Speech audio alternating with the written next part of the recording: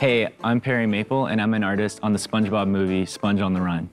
Drawing SpongeBob, especially young SpongeBob, is really fun because it's like you're taking all the cuteness of SpongeBob's design that he already has and you're just like squishing it down, making him a lot cuter, making him younger, and then bringing in all these little camp elements like the scarf and the little baseball cap.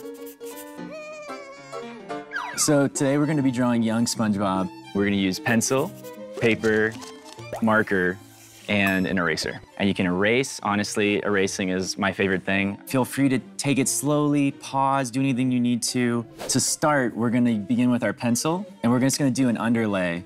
We're gonna start by just creating a rectangle. And this is gonna be his overall body. It's his face, it's his shirt, his pants. You know, all his body is comprised in this one rectangular shape. And then if we go down here, we're gonna put a straight line through to divide where his shirt is, and another one for where his pants are. So now let's jump into his face. Let's put in two big circles, and this is where his eyes are gonna be. So somewhere here, kind of towards the top of the head, we're just gonna put in a big circle. We're gonna go ahead and add a couple more circles. So right here between the two eyes, we're gonna put a third circle, and this is where his nose is gonna be. And now we're gonna do two more circles, and these are gonna be for his cute little cheeks. Young SpongeBob has these cheeks that are right beneath the eyes. They almost overlap. Now we're gonna go from this corner of the cheek over to the other one and draw like a nice little curved line. This is gonna be his mouth. And then his little buck teeth that he's got. So we're gonna put in some more rectangles. And we're gonna fit in right here between where his shirt starts and beneath the teeth, a nice little wavy line like this. And this is his like chin lip Real quick, let's finish up this part of the face by doing the rest of his eyes. So we're gonna create two more circles inside of this for his irises. And then let's go in and put the pupil in. Each of SpongeBob's eyes has three eyelashes on each eye. So let's go and put those in. We go one, two, three. One, two, three. All right, so now we have all the basic like elements in place for the face. Let's move on to the rest of his body. And this is where it really becomes young SpongeBob because we're getting into the details of his camp uniform. We're gonna introduce our first triangles. So we're gonna start here at the middle and just do one triangle like this and one upside down triangle like that. And these are the collar of his shirt. Now here in the middle, young SpongeBob uh, has part of his camp uniform a neckerchief and he has this little metal piece that is in the middle. So we're gonna draw another circle right here and then create two long oval shapes for where the neckerchief is coming out. And then several more rectangles for his belt. Then let's put in his sleeve. Put like a little half circle just above that on the outside. So up here, we're gonna just do a half circle. He's got a baseball cap on his head. And he's got short little arms. And we'll go back in later when we do our final lines and add little fingers. So just to finish him off, two more rectangles for the bottom of his shorts. Young SpongeBob has very short legs.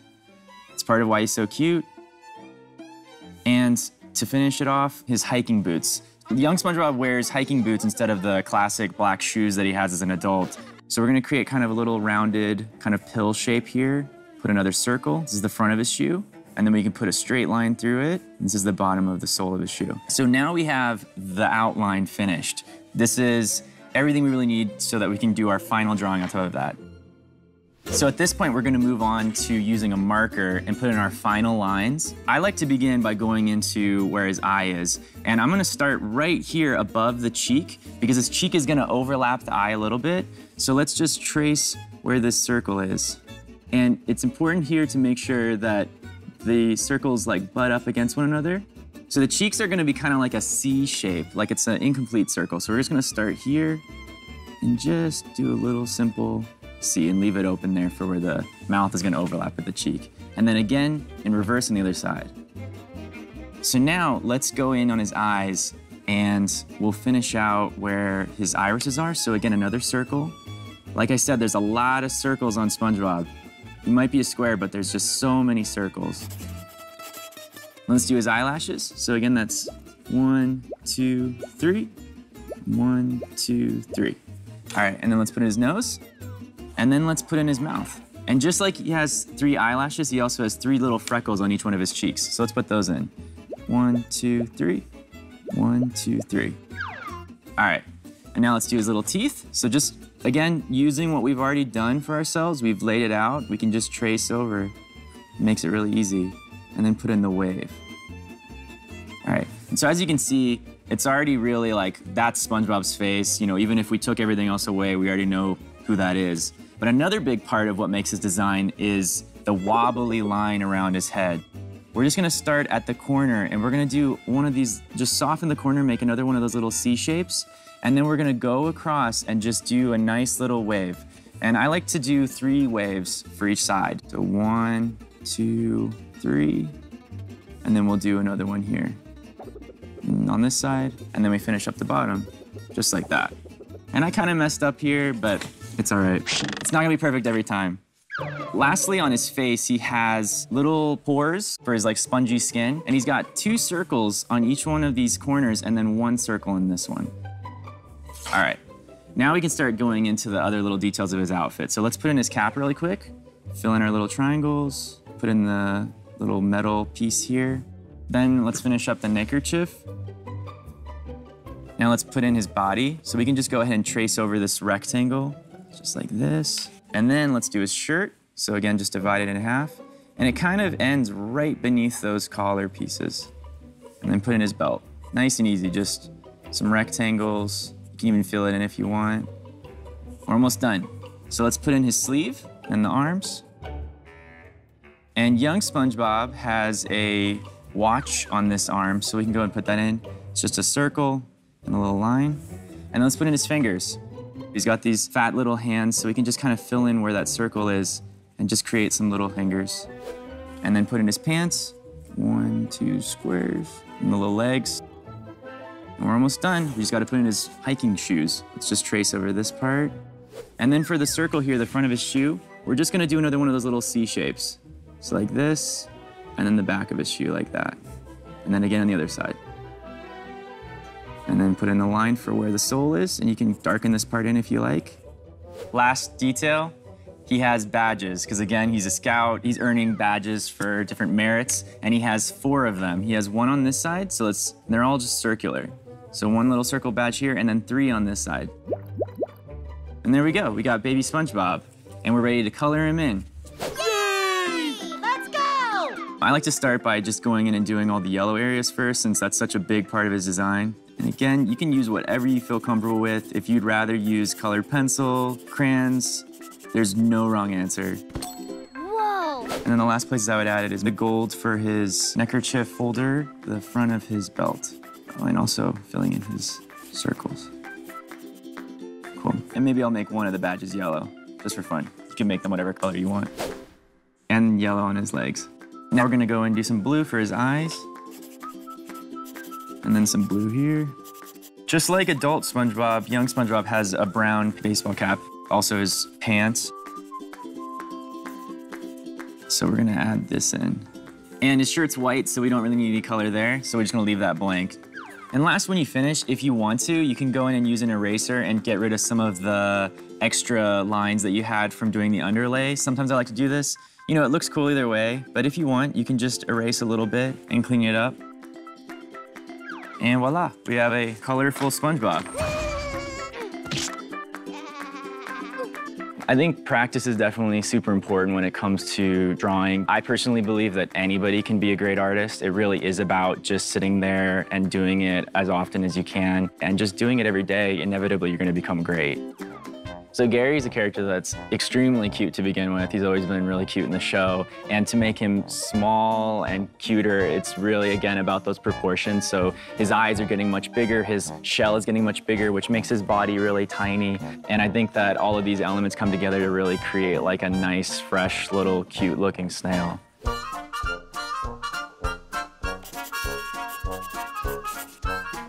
So now we're gonna move on to drawing young Gary. We're gonna use pencil, paper, marker, and an eraser. This is gonna be a little bit simpler than SpongeBob, and again, we're gonna take it slow and just break it down shape by shape. If you ever felt overwhelmed by any of the drawing, feel free to take it slowly, pause, do anything you need to. Um, I know there's a lot of steps to it, but when you break it down, you know, just take it one piece at a time. It can be really simple and fun to do. So let's begin with our underlay. Little Gary has huge eyes, so we're just gonna start by doing these circles for the eyes. And then the other one, we're actually gonna overlap them a little bit because one of the eyes is gonna be behind the other. So let's just go in and do that. And then Gary has these little antenna or arms like holding the eyes up. So we're just gonna put those in right now. We're gonna start kind of here towards the bottom of the left eye and just draw a nice little line here and another one. And they're both kind of angling toward each other because they're connecting where his little body is beneath that. Then we're gonna put in his irises. For this pose, it'd be nice to draw him looking up. Like if you wanna draw him next to SpongeBob or something, you could have him looking at SpongeBob. So let's go ahead and put one about right here and another one on the other side. And then the pupil. Gary has even more eyelashes than SpongeBob, so let's go ahead and put those in. And we start kind of at the middle of the eye. One, two, three, four, five, six. One, two, three, four, five, six. All right, now moving on to his body, and we're almost done. There's not too many parts to Gary, so let's put like a nice little half circle here for his base. One of the big differences between little Gary and adult Gary is little Gary has a tiny little body compared to these big eyes. So you can kind of make this quite a bit smaller than the, than the circles we put in for the eyes. And then we're gonna just put a line here to connect for the rest of his body and just put a little arch connecting those two pieces. Now behind this, Gary has a really big shell. It's gonna go through here a little bit where between his eyes are and then just finish it out behind his head. And again, this is the fun part about using an underlay. If you need to erase at all, like maybe this is too much, feel free to erase. Again, I love erasing. Erasing's your friend. Do you want to be friends?